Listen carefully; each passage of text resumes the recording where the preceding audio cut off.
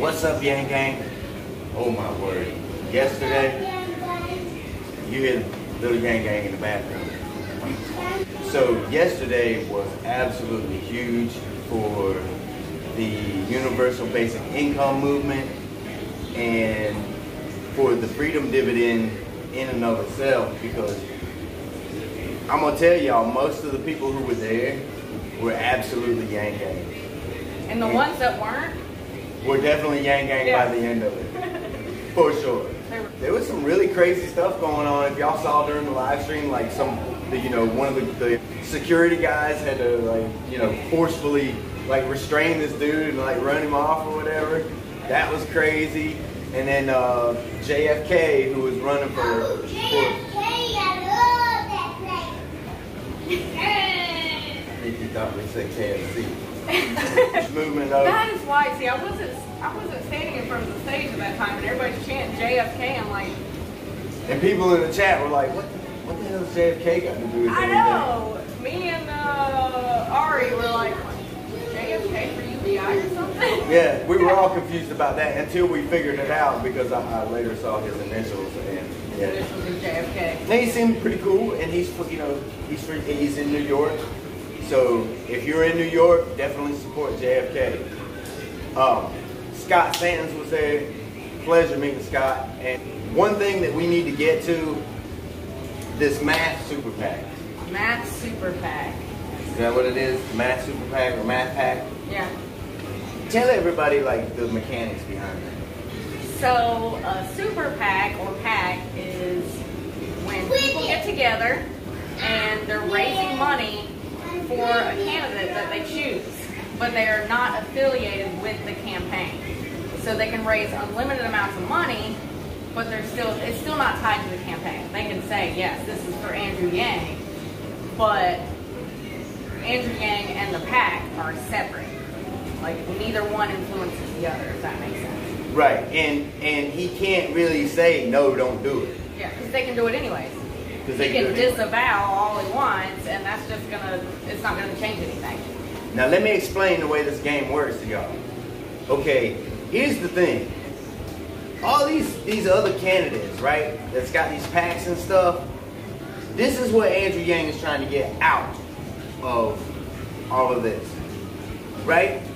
But the only way that you're gonna beat them is to join them for the moment.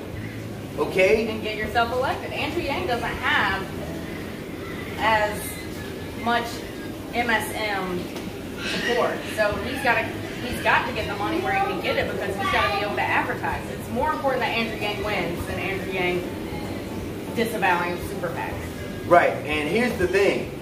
If we got some wealthy Yang Gang out there, hell yeah, we need y'all's dollars. Yeah. We need you to support Andrew Yang. And here's the thing.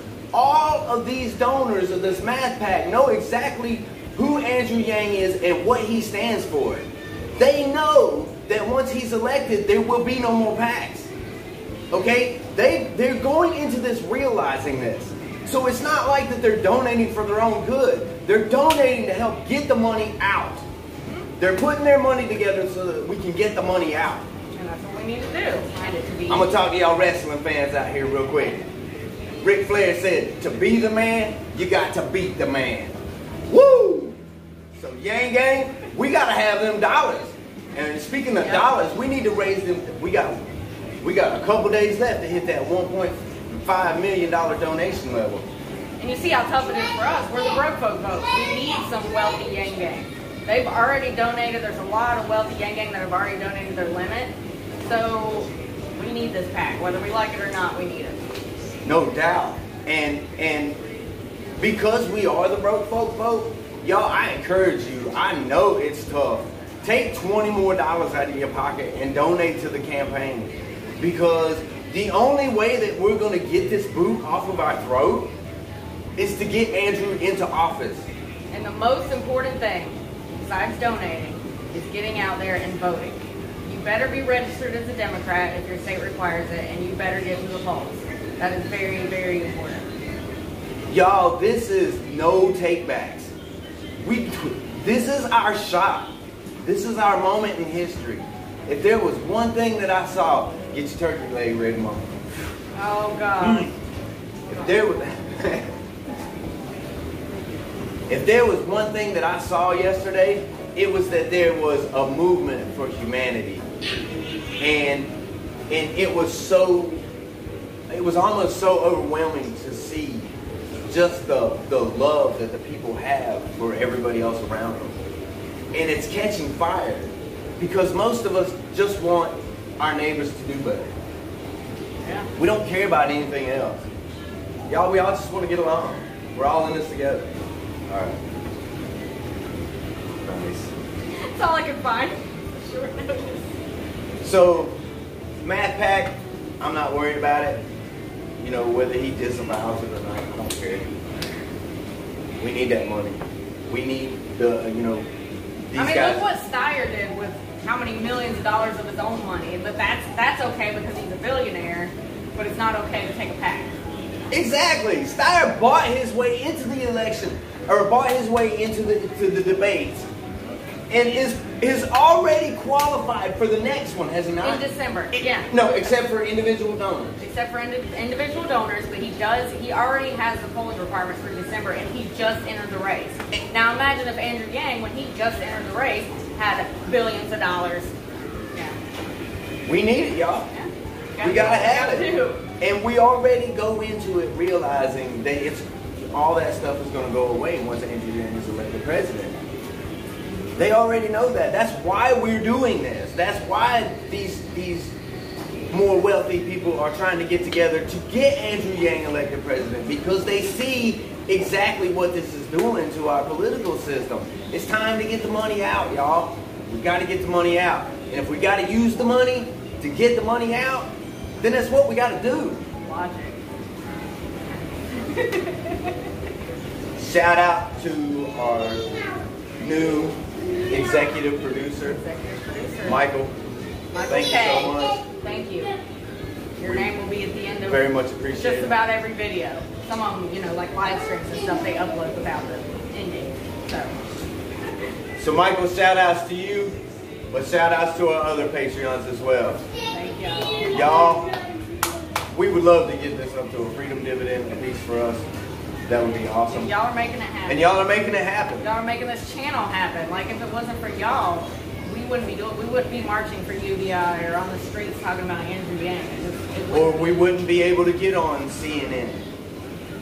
We wouldn't be able to get in the New York Times. We wouldn't be able to get in all the other publications that we've gotten on, or you know, the Majority Report, or the Kyle Kulinski Show. Gang Gang, it's because y'all support this channel that we are able to put ourselves out there. You know, we have to we have to literally put ourselves out there to get that kind of interaction. And the only way that we can do that is through y'all's love and support. And it's been amazing to me to see the outpouring that this channel has gotten. And I have a feeling it's because a lot of us out there are the broke folk folks. And that transcends, you know, party lines, that transcends, you know, race, that transcends. And we all realize that we're in this together. And we have an opportunity right now. we have an opportunity right now to change history.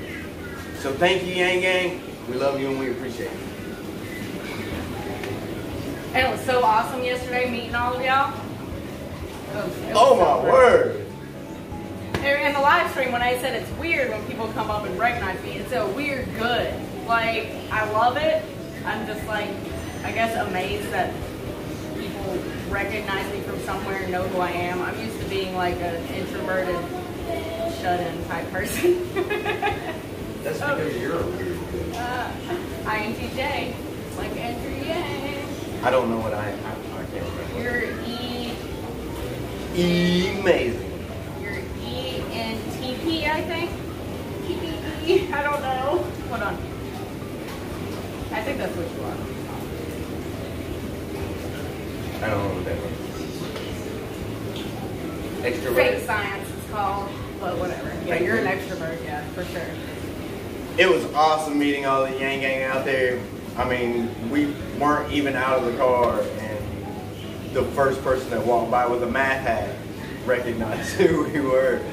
And it's only because y'all make this happen. And so we love you. We thank you, Yang Gang. Can't wait to meet more of you. Can't wait to meet more of you. We took a lot of pictures. If y'all want to follow us on Twitter, it's at Bbox Reality and at Crystal's Lady. Those are down at the bottom of the description too. All the links you need. Honey, come here! Coming! Y'all make sure to like, share, and subscribe to these videos. Ding that bell because that bell is the only way that you get the notification when we do go live. And it's the only way that you're going to know when we put out a new video unless you come back frequently to the channel. So, which we encourage you to do. All of our donation links are in the description. Yang Gang, y'all see these bracelets? They say Yang Gang and Math. We're gonna put a link to these in the description. Uh, I think all of these, all the sales for these go to the campaign. It either goes straight to the campaign or goes to help campaign, like truck wraps, anything that's gonna bring Andrew Yang a lot of attention. They're only five dollars a piece. If you got five four, you get one free. And it's a great way, you know, show off your support. You can hand them out at events, you can hand them out on the streets. Good stuff. Great way to spread the word of the Yang Gang. Thank you so much, Yang Gang. We love you. Enjoy our boy Scott.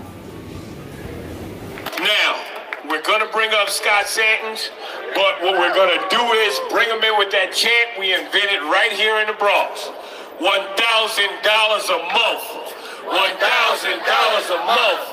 $1,000 a month. $1,000 a month. One thousand dollars a month. One thousand dollars a month. All right, thank you. Let's go, All right, Yang Gang. All right, so today I just want to um, kind of play off of what most people here know as the seven stages of Yang.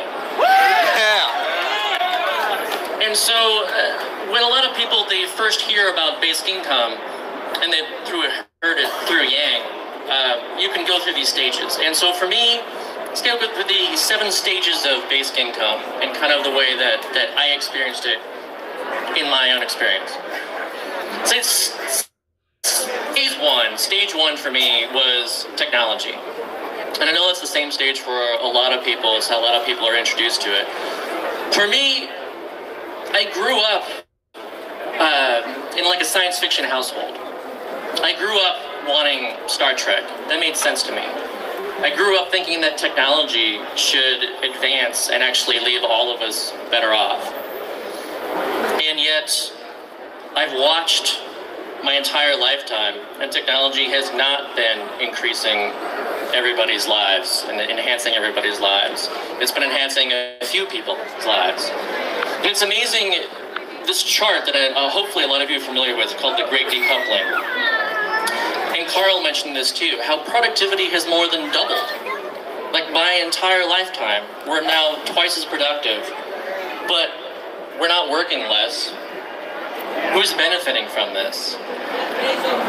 right, Jeff Bezos. Yeah, the billionaires, the millionaires, they're benefiting. And I read this book called Manna by Marshall Brain, and that was kind of my big entry. Because he framed this, he was very clear that the way we're going is towards dystopia. As technology advances, and if we do not make the right decisions along the way, dystopia lies that direction. But can use technology to actually create a utopia, which should not be a bad word. Right. It's weird how it became a bad word. You know, Robert Kennedy's, he said that many people look at the world and ask why.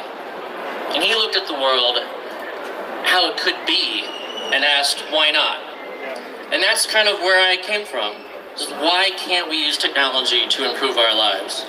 So I read this book called Manna, and the author, after explaining, you know, how much better things could be, he introduced the concept of basic income to me. So I started looking into it. So stage two for me was the history of basic income. I was amazed to learn that we were so close in the 70s that Nixon himself proposed a guaranteed income for families, and it passed the House of Representatives twice in 70 and 71. We were so close. We did experiments all over the country. In the U.S., we had cities, Seattle and Denver had them. Other cities across the country experimented with negative income tax. Martin Luther King was for it. Milton Friedman was for it. Imagine that. This not left, not right. It's forward. Like these are ideas. This idea was something that was really considered. And we experimented not only in the US, we experimented in Canada. They experimented. They essentially eliminated poverty for five years in Dauphin, Manitoba. And we experimented in other places too. And it was amazing to me to like read through this history. And it was just kind of an unknown history to me. And then that led me to stage three. Stage three being evidence. That's what I really care about. I want to know does something work? I'm not going to just support something because it sounds good. I really care about if it works. I'm not ideological that way. And sure enough, if you look into the evidence, it works. What we learned from the 70s and the, the experiments then was that people didn't stop working when they got a basic income. In fact, they started working in ways that were more valuable to them. Like one of the biggest effects was that you essentially used it as as paid maternity leave for new mothers. But it's amazing to me that we still don't even have paid maternity leave. But they were able to use it as that. People were able to actually work less overtime. They were able, students were able to actually focus on going back to school. That's the kind of work that we should want. And the evidence, too, we saw that hospitalization rates decreased. In Canada, when they eliminated poverty in Dauphin for five years, hospital utilization rates went down almost 10%. In Namibia, in the UBI pilot, crime decreased over 40%. Wow. In India, you saw that the villages that had a basic income were three times as likely to be self-employed than control villages that didn't. So you look at all this evidence, and it's just impossible to deny that, yeah, this works. The next step for me, the next stage, was philosophy. And uh, fortunately for me, my entry point was Karl Widerquist. So apparently, you know, we both lived in New Orleans. We didn't know that. I signed up for USBIG. And he was just so excited that somebody was actually into basic income in New Orleans. and he gave me a book. His book being The Power to Say No. Freedom is the Power to Say No. And after I read that book, really that like just completely really solidified my views of basic income philosophically. Because I mean these things go back and he explained it as well as far as the power to say no and how important that is. And he, he himself was actually uh, influenced by Thomas Paine. And Thomas Paine, I mean, this is a hundreds years old argument. Thomas Paine's argument was based on the fact that no one created the earth, and that it was a right, not a charity, that he was fighting for with his plan. A right not a charity. Why? Because no one created the earth. And when you think about the philosophy too, freedom requires non domination.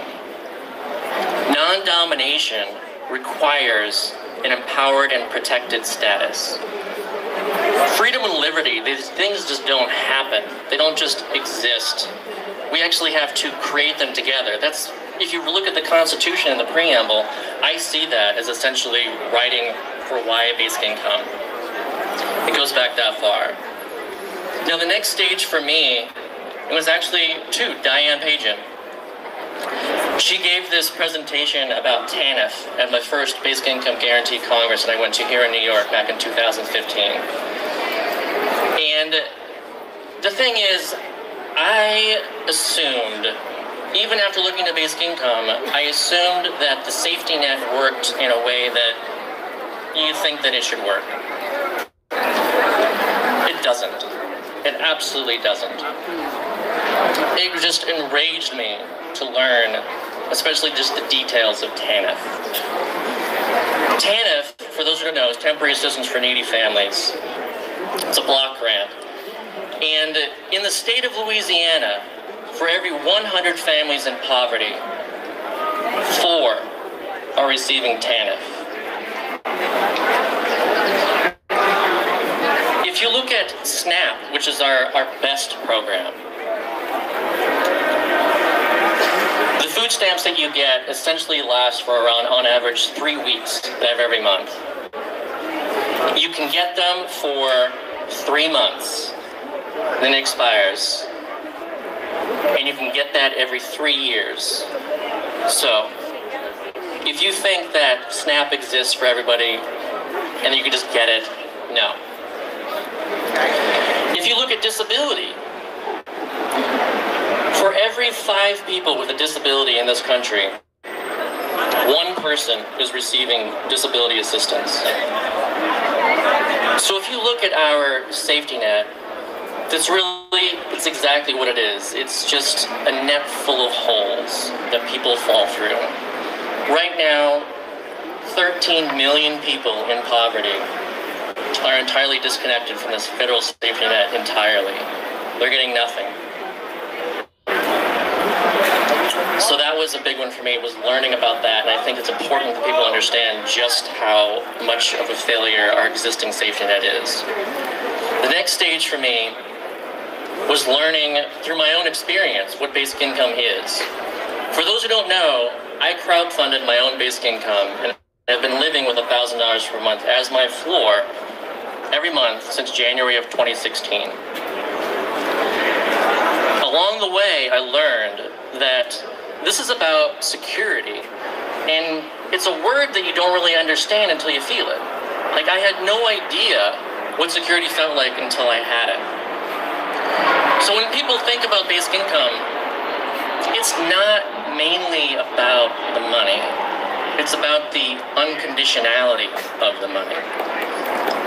It's that you know that every month you will start with this amount that you can plan on and you know it's going to be there. And that feeling of security is just life changing. And the other thing I learned too, besides the importance of unconditionality, is that it enables and empowers us to pursue what is most important to us. And that's what I've been doing. That's why I'm here. The only the only reason I'm up here at all, the only reason any of you know my name is because I'm able to actually pursue what I think is important. And that's what I've been pushing for for years is basic income that's important to me. I have that ability, and I want everyone to have that ability too, to pursue what's most important to them. So stage seven of basic income for me, final stage, was where I am now. And I just think that the world is upside down and backwards. Where, let's say somebody says, oh, basic income, won't people stop working? And I immediately think, how much work is not getting done right now Right. because we don't have a basic income? Preach, brother. People say, oh, basic income, isn't that too expensive? Can we afford a basic income? And I think, how much will basic income save? How much does it cost to not have a basic income? That's what's really expensive. And so I think now very differently about a lot of things. And I think that Martin Luther King was absolutely right when he described poverty as akin to cannibalism. I think that decades from now, we're going to look back and we're going to think of our lack of basic income as essentially the same thing as eating each other for survival. There's no reason to do it. We don't have to do it. It's a choice. It's a choice that we as a society make together.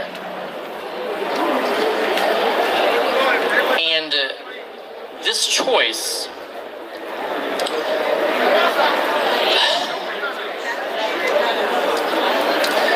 this choice that we make it's it's something society society teaches us that poverty is a moral failure of the individual And in doing so, it keeps us from understanding that society is a failure. More, sorry, poverty is a failure of society itself. What it is. It's an absolute moral failure of society. And so when you think about what is basic income, UBI is not free money. UBI is freedom. UBI is power. UBI is trust. UBI is our natural inheritance. What we, it's our share of the earth. UBI is our technological inheritance.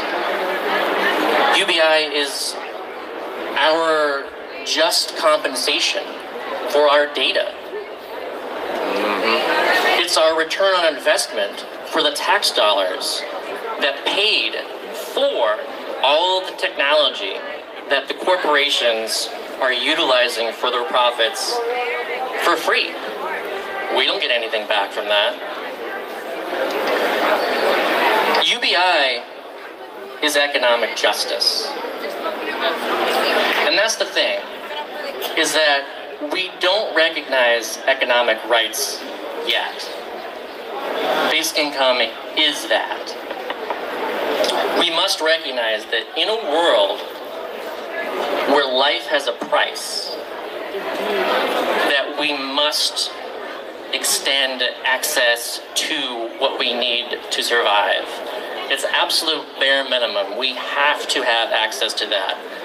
If it is not okay to choke someone to death, it is not okay to pull and keep them from breathing and only provide the air back to them if they do what you want or you work for them in ways that you are approved of.